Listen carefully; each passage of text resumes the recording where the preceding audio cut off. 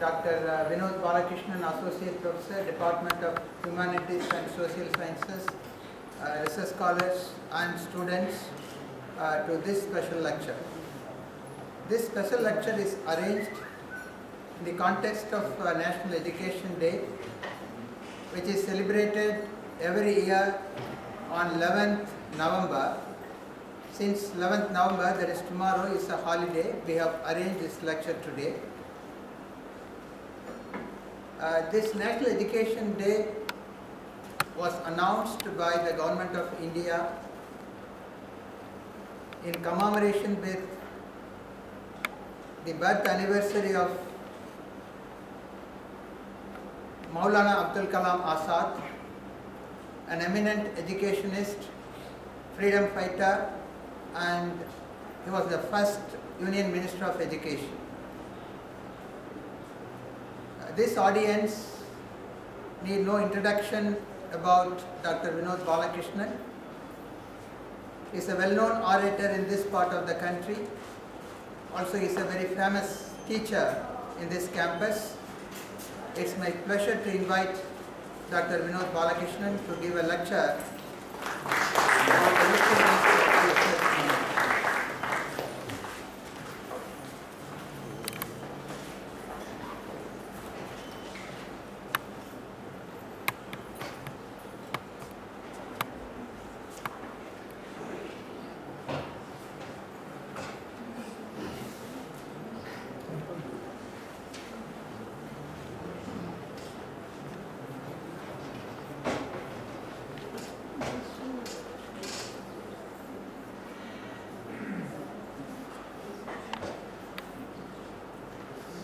Madam Nagamani, Dean Academic Affairs, NIT Trichy, my good friend and Associate Dean Academic, Dr. Karvebu,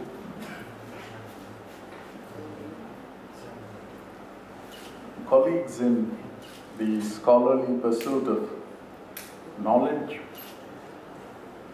ladies and gentlemen, great honor to be here before you on occasion of the National Education Day.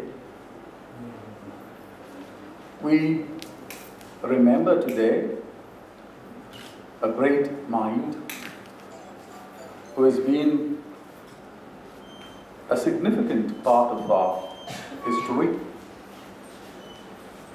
And this talk captures the spirit of uh, Maulana Abul Kalam Azad, what he meant to the country in his time and what he means to us today. He was uh, Maulana Azad, very popularly. Maulana standing for the master scholar and Azad free. And I thought, in one sense, that phrase symbolizes the uh, spirit of my talk today, which is about the pursuit of knowledge, which is unfettered, unbridled, in a spirit of absolute freedom. Maulana Azad. About the person, all of us know he was the youngest president of the Indian National Congress. At uh, 35, in 1923, he headed the National Congress. He was India's first education minister, and interestingly, he was born in Mecca, today Saudi Arabia. And uh, so, from the Mecca of Mecca to Delhi, it has been a very eventful journey. And we are talking about a polymath, one who was a scholar in Persian, in Urdu, in Arabic, um, Hindi, and English. So, for somebody who used to write uh, brilliant poetry, he also had a mind with a vision to establish the IITs in this country. So we owe it to him for the establishment of the IITs in this country. We owe it to him for the establishment of the University Grants Commission, UGC, the All India Council for Technical Education. And then, as the poet, he was the one who conceived and um, set into motion the activities of the Sahitya Academy, the uh, literary and cultural um, organization of this country, the Sangeet Natak Academy, and so on. So, one who has been a significant um, part of our history. And in this person, we would see the happy harmony of science and the humanities. And that is the way in which I would like to take this talk forward that if our universities must have any relevance, if our centers of higher education and educational excellence must have any meaning today, it can only be possible with the happy marriage of uh, the sciences with humanities. This because we have a director from Jamia Millia Islamia. Like to place on record that uh, Maulana Azad was one of the founding um, members of uh, the Jamia Millia Islamia University at Aligarh UP. And today, Gate 7 is uh, named after him.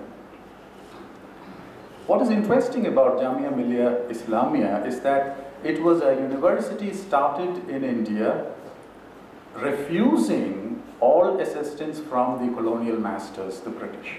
So, in a sense, it reflected the decolonized mentality of not going to the masters, your colonial masters, for any kind of assistance, and so it symbolizes an institution that is um, completely independent and stands for itself.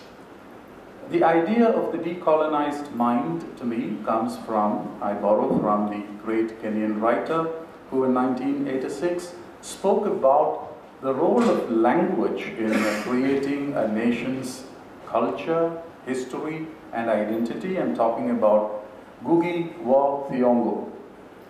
And uh, Maulana Azad, as part of uh, the founding of an organization, an institution that refused any kind of help from the British masters, was also a decolonized mind.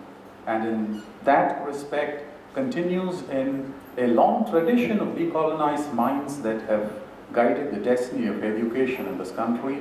I'm talking about Swami Vivekananda, I'm talking about Rabindranath Tagore, I'm talking about Sri Aurobindo and Mahatma Gandhi, all of them having thought deep and extensively on the philosophy of education.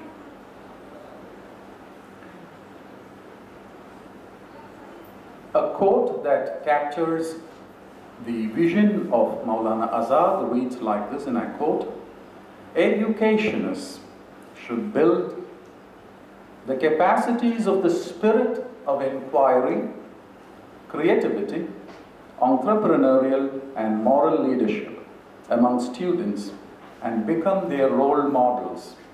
Now, it's saying a lot. The rest of my talk is a way of elaborating how educationists build capacities of the spirit of inquiry, creativity, entrepreneurial, and moral leadership. In 1939, the Harper's Magazine published a manifesto of a unique university. Ten years before this publication was the great Wall Street crash, and we had the biggest financial meltdown in history, especially in American history. But weeks before Wall Street could crash, Louis Bamberger and his sister Carolyn B. Fuld sold their New York department store to Macy's and they made a huge profit, it was a windfall.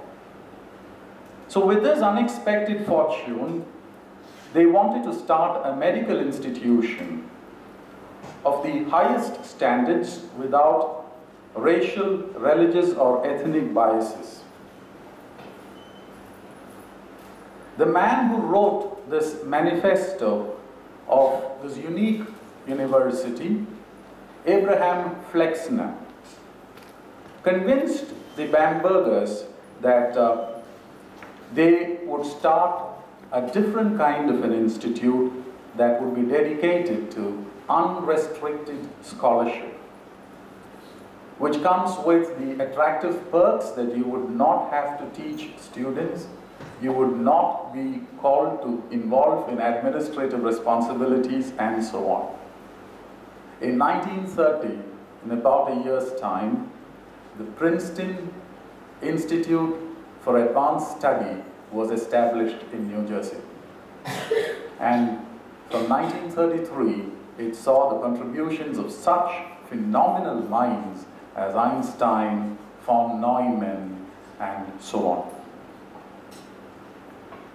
In 1939, April 30, Flexner published this watershed article titled The Usefulness of Useless Knowledge.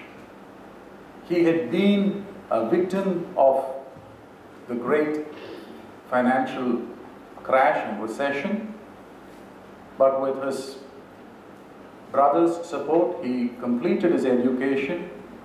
He went on to look at educational practices in Europe and in different educational centers across the globe and started with a trenchant critique of the American university system. And so he wanted the Princeton Center for Advanced Study to be very different from any that the world had seen till then. He meant it to be a paradise for scholars where they would concentrate on deep thoughts which were far removed from mundane considerations and everyday um, practical applications. Flexner had a great faith in two principles. One, human curiosity, because that is the engine that drives all our quest, and serendipity, which happens to only those who are capable of a great scholastic adventure. And what the unobstructed pursuit of useless knowledge does is it synergizes human curiosity and uh, serendipity. One instance of how this useless knowledge serendipitously becomes one of the most useful applications in modern time is uh, begins with the 1905 paper of Albert Einstein on the theory of relativity. And from 1905, nothing much is known about the application of this theory, and it continues to be in the realms of the highest performances in uh, um, thinking in the physical world.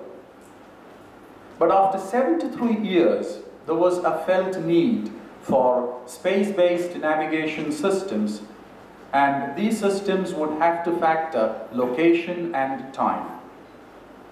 So one needed to read the time signals of orbiting satellites. Now, the Earth's gravitational field and the movement of satellites caused clocks to either speed up or slow down. And this meant that per day there would be a loss of or a skipping of something like 38 milliseconds in terms of time. Now, without Einstein's theory of relativity, we would have developed a GPS would have, which would have been inaccurate to the extent of about 7 kilometers. But today we are talking about a GPS which has an accuracy which is even less than 5 meters. Now, that is what we mean by the usefulness of useless knowledge. There is an arc of knowledge, and in order to illustrate this further, I would pitch the beginning some 2000 years ago. I call this arc of knowledge, for an instance in this talk, I would call it the arc of thermodynamics because it's a fascinating story. And through that, we would be able to see the universal brotherhood of scientists, people who are located in different centers of scholastic quest, but then they all seem to be bound together in a spirit of brotherhood, of sharing, and of uh, the pure love for knowledge. In 1650, Otto von Guericke in Germany developed the first vacuum pump after his famous Magdeburg hemispheres experiment.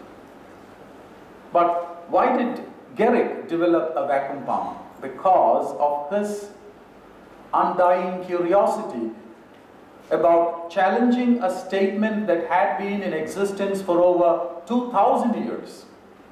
Assuming that Aristotle was 34 years old when he stated famously that nature abhors a vacuum, that nature hates a vacuum, and this statement of Aristotle had been in existence for about 2000 years to the day when Otto von Guericke wanted to challenge it, and he did that with his vacuum pump. Six years after Guericke performed his experiments, Robert Boyle, located in England, heard of Guericke's design, and along with Robert Hooke, he built the first air pump, which correlated pressure, temperature, and volume. Soon, Boyle's law was developed, pressure declared to be inversely proportional to volume. In 1679, and we are now looking at something like a generation after Otto von Guericke, in 1679, Denis Papin, Boyle's assistant, using the concept, developed a steam digester, but this was a closed vessel. So when pressure built up, there was a possibility that it would explode. And Papin, because he was a scientist, developed a, um, um, a release valve, a pressure release valve, and uh, he also um, provided the first insights into a piston and cylinder, which he was not um, successful in carrying to its logical conclusion. It had to wait for two other people. In 1697, Thomas Savery built the first engine using Papin's design, and in 1712, Thomas Newcomen developed another crude engine. But it was a was, it was an instrument maker working for a University of Glasgow professor, Joseph Black, James Watt, who thought of an external condenser to increase the efficiency of this engine, and we had the first steam engine. After an interim of about 50 years, around 1824, there is this young Frenchman, Sadi Carnot, who was also working for the French army. But then Sadi Carnot went to the École Polytechnique, where he was taught by such legendary teachers as Ampere. He was taught by these great teachers, and uh, he writes a remarkable book, not a, a, a, very lengthy tome. He writes a remarkable book titled Reflections on the Motive Power of Fire, which is a discourse on heat, power, energy, engine efficiency. And the energetic relations among Carnot's engine, Carnot's cycle, motive power gives birth to a field we today recognize as thermodynamics. And in 1859, about 100 years after Otto von Guericke developed the first air pump, we have William Rankine at the University of Glasgow producing the first textbook on thermodynamics. This is an arc of knowledge. It's about, it takes about a hundred years for the first and second laws of thermodynamics to emerge from the experiments of Otto von Guericke. Now, we have to call this knowledge useless because for much too long in its evolution, people are still struggling to find clues to its everyday application. But then, when the moment and the man come together, there has to be a serendipitous find, and then it becomes useful. The problem today with most institutions, and that is a problem that John Henry Cardinal Newman didn't talk about, because he was talking in a context of liberal education. But that is certainly the problem that Stephen Collini addresses, a professor of intellectual history at Oxford, when he talks about the problem with our universities and colleges. He addresses the problem of funding. The problem today is that funding is drying up. And the economic conditions in the world are so uncertain. And we have a global political condition that is always in a state of flux. You are unable to predict the headlines of your newspaper. It's certainly very different from what George Washington used to say about the newspaper that you, if you have read it one day, you can predict the newspaper for the next 11 days, and that's certainly not the case. The newspaper of the morning is so different from the midday newspaper, and uh, you have an altogether very startling development in the evening. And that is the speed at which the global political situation is changing. And then today we have very short time cycles. Now, the result of all these developments is that it hits research very hard. Research criteria are skewed on account of these conditions to serve short term goals. So, while it may seem that we are solving our immediate problems, and that's only apparent, we are actually not uh, benefiting from or taking advantage of uh, human imagination. Now, we should try to find why or have convincing answers to why we should be spending um, a lot of our time and energy on basic research. Number one, and an obvious reason, is that basic research advances knowledge in itself and of itself. So, even if the theory of relativity is not going to have very tangible applications, the theory of relativity is still worth pursuing in itself as a fine philosophical um, exploration of a physicist. Number two, we should be concentrating on basic research because path-breaking research leads to new tools and techniques. And these tools and techniques often are developed in very unpredictable ways.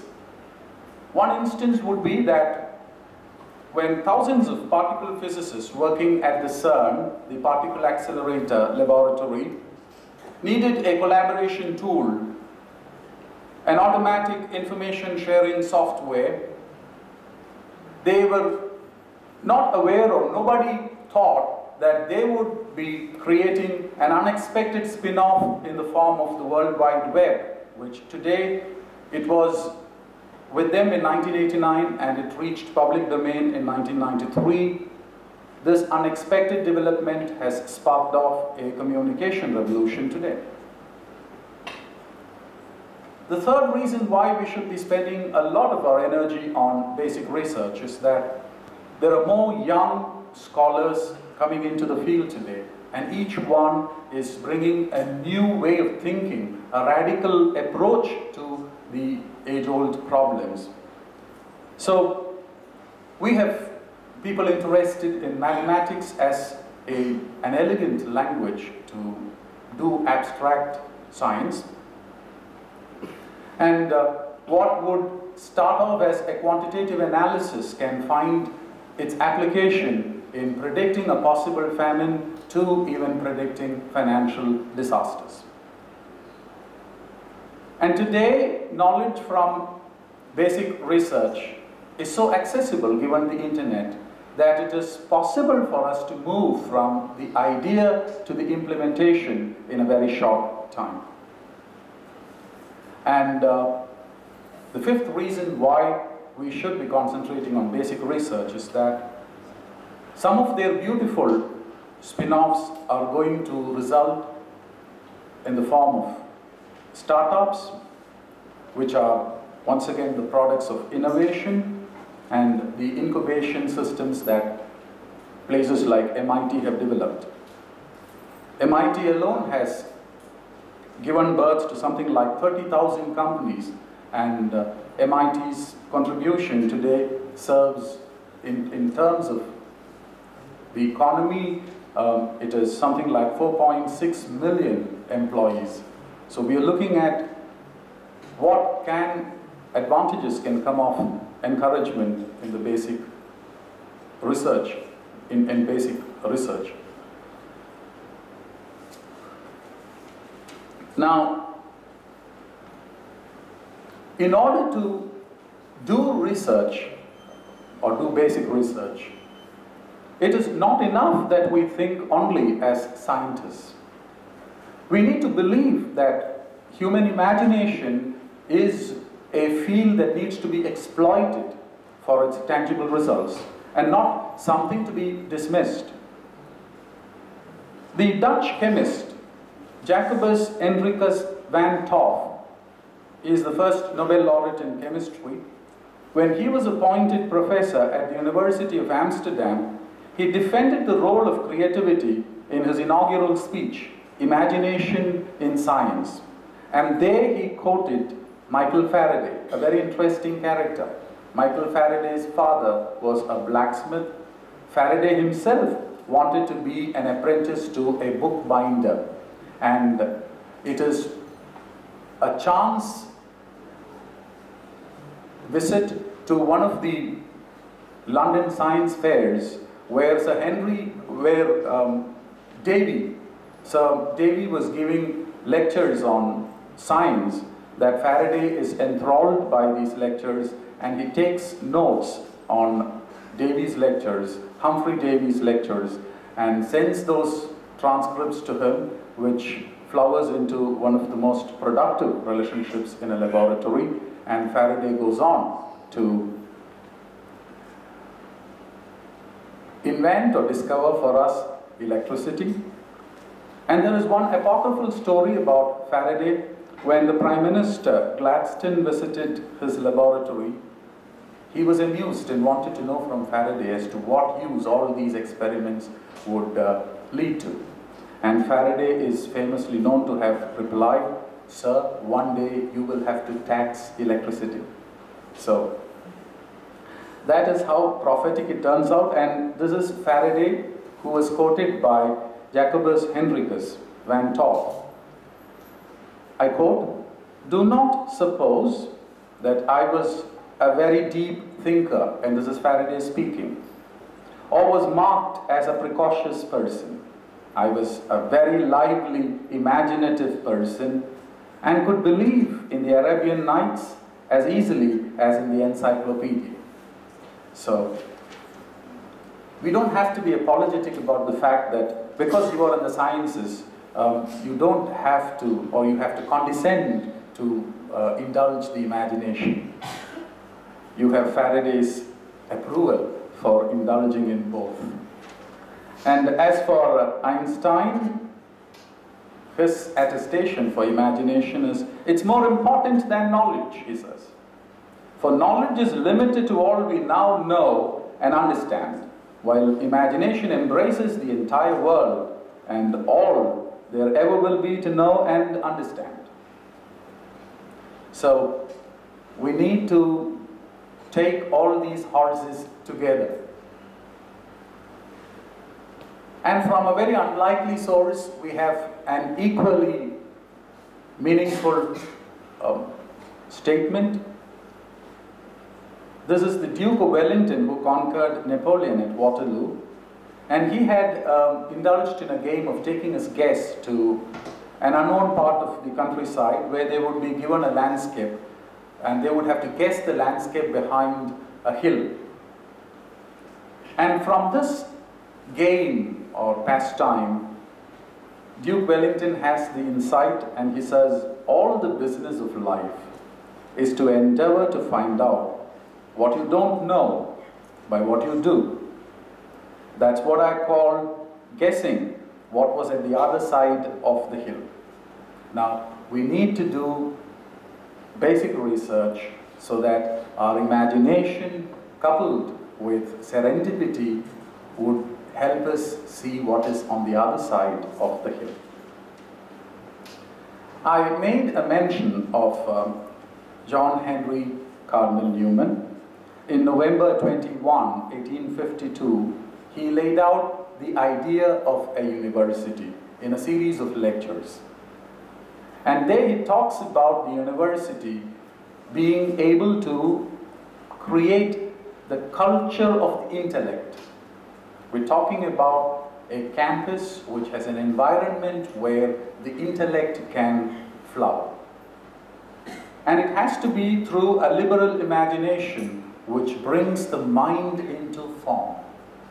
Now, in a different way, Vivekananda talks about education that brings out the perfection that's already there in man.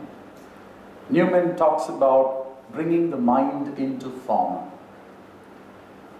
But what we need to avoid, and that is a problem we need to fight with everyday indulgences on WhatsApp or Facebook, there is a certain viewiness that comes into our life, a certain spurious philosoph- philosophism, a kind of opinion making on a variety of subjects. A small example would be that very famous narrative by Manu S. Pillai on the um, kingdom of Travancore, where he tracks the life of Sethu Lakshmi Bai. And it starts with the arrival of Vasco da Gama on the shores of Kerala. Any history teacher would tell you that Vasco da Gama was the first person to land on Indian shores, but we seldom realize that the teacher has been guilty of what Newman would call viewiness or a spurious philosophism. Maybe because history goes by large markers, we would want to see Vasco da Gama as the person who landed. But then, if you are a sensitive historian, and if you are sensitive to how individuals would behave when they are in strange locations, especially a person like Vasco da Gama who would have lived under a threat of a mutiny all through the journey to Kerala from Portugal, he would have um, um, he would have been like any captain, very careful, cautious in sending somebody else to test the waters, an advance guard, to see how friendly or hostile the strange land is. And uh, that is exactly what happened. Manu S. Pillai opens this narrative in a very interesting way. He says, It was not Vasco da Gama who landed on the shores of Kerala first, it was one of those dangerous criminals from the gutters of Lisbon who actually landed on the shores of uh, Kerala, uh, which is uh, more true as a historical narrative. So we need to have a certain sensitivity to read between the lines of our historical narratives and a certain curiosity, the curiosity that we would see in an Otto von Guericke, a curiosity that we would see in an Einstein, would probably um, take us to seeing um, what is beyond the stated and give us the truth with greater clarity.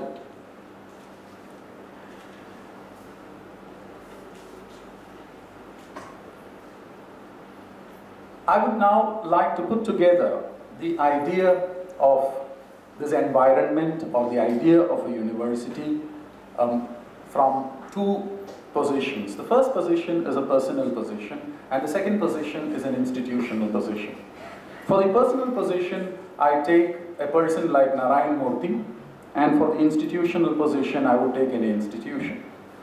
The personal position is when Narayan Murthy graduated in computer science and he wanted to do something meaningful.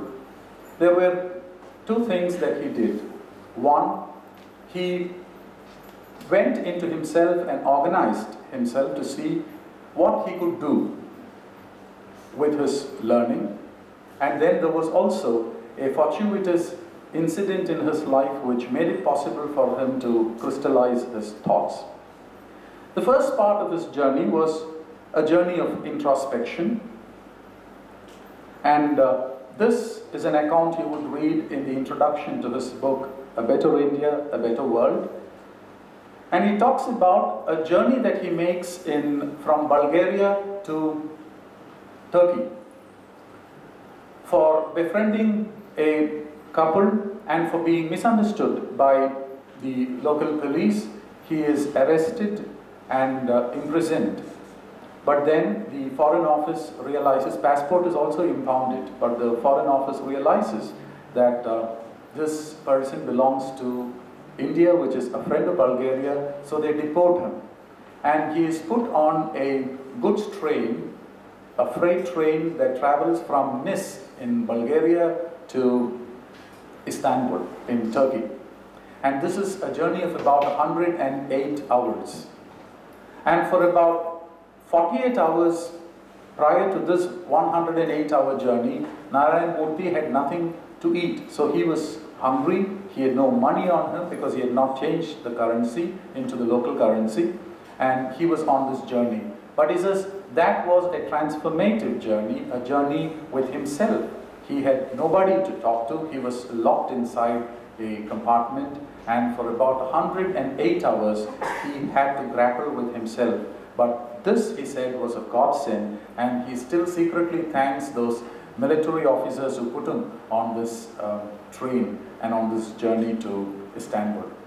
Because then he realizes that there is something called capitalism in the world, but then the way capitalism is practiced or capitalism manifests in this world is by ruthless competition, by a little unethical um, means, and so he tries to put together three important and interesting ideas. The first one is the Protestant ethic and the spirit of capitalism by Max Weber, from which he gets the idea of the results of hard work, a work ethic he develops, and he believes that you should not be um, a recipient of a free lunch. If you deserve something, you have to earn it. And never count on the largesses of other people, on the benefactions from others. So you work hard for your advantages. The second one is my experiments with truth, Mahatma Gandhi, from where he takes the idea of leading by example. One who, uh, uh, this is a site where you develop the practice of doing something before you can talk about it. So a lot of credibility comes in when you do something and then you are in a position to arbitrate on its value. And the third text that completes his uh, formation, intellectual formation, is this humanistic concern that he captures from Frantz Fanon's book Black Skin, White Masks. And it is about how there are social and political forces which divide people on the basis of their color, on the basis of their efficiency, and so on. And these kinds of discriminatory practices um, have to be fought. And this humanistic concern he draws from the Algerian physician and thinker Frantz Fanon. And he puts all these ideas together the Protestant ethic of Max Weber, the idea of truth and leadership from Mahatma Gandhi, and the concern for a fellow human being. He puts them together to compose an idea which is apparently oxymoronic but a brilliant idea called compassionate capitalism. So you cannot but be a capitalist in today's competitive world. You need money and you need enough money to realize your dreams, but then it should not be earned at uh, the expense of human values, ethical practices, and so on. So that's at the level of the individual. So when we do basic research, as we say, we would need certain ethical practices, not always being slaves of the results that have to come, but being ethically um, diligent in the way the methodology is adopted for the practices involved. And science not for its own sake, but also with a certain concern for another human being.